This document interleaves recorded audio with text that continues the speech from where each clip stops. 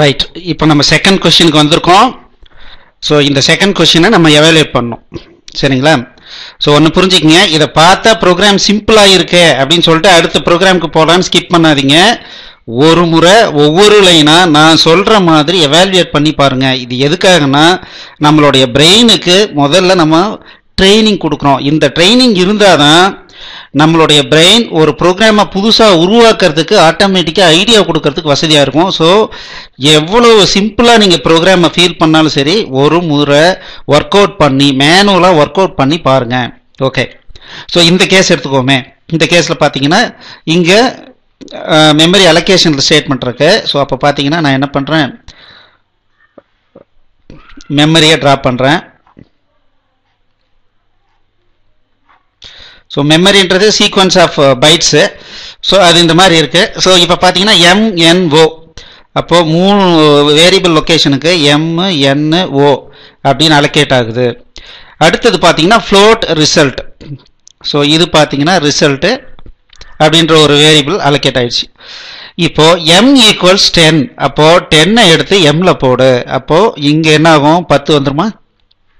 Right என்ல fifteen point செவனை போடுன்னு சொல்லியிருக்கோம். என்னங்கிற வேரியபிள் என்ன சொல்லியிருக்கோம்? இங்கே தான் ஒரு ட்ரிக் கொடுத்துருக்காங்க இந்த கொஷினில் என்னங்கிறது என்ன? இன்டீஜர் இதில் float variable float value store ஆகாது. அப்போ ஸ்டோர் ஆகும்போது என்ன ஆகும் அப்படின்னா இந்த டெசிமல் பார்ட்டு ட்ரங்கேட் ஆகும். அப்போ ட்ரங்கேட் ஆச்சு அப்படின்னா ஸோ இங்கே என்ன ஆகுது?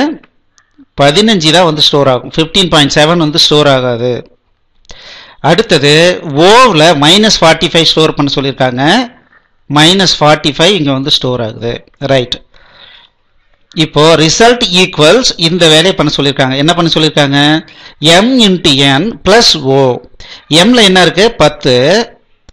பத்து இன்ட்டு என் ஃபிஃப்டீன் ஸோ இதனுடைய வேல்யூ என்ன? ஒன் ஃபிஃப்டி ப்ளஸ் ஓ ஓவில் என்ன இருக்குது minus forty five minus forty five அப்படின்னா one fifty minus forty five அப்போது என்ன வரும்? ஒன் ஜீரோ ஃபைவ் வரும்.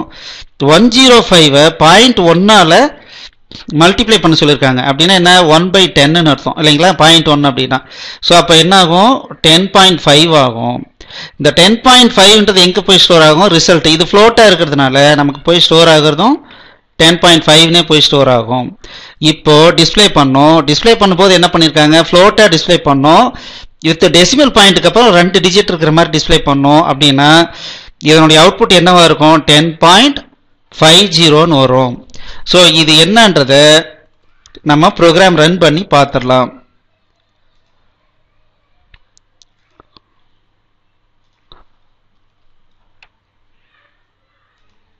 ஓகே கம்பைல் பண்ணுறேன் ரன் பண்ணுறேன் ஸோ இங்கே பாருங்கள் டென் பாயிண்ட் ஃபைவ் ஜீரோன்னு வந்திருக்கு. ஸோ நம்ம எப்படி ஒர்க் அவுட் பண்ணமோ அது ஹண்ட்ரட் பர்சன்ட் கரெக்டுன்னு தெரியுது. ஸோ இதையும் நீங்கள் ஒரு முறை மேனுவலாக ஒர்க் அவுட் பண்ணி பாருங்கள் so this is very important thank you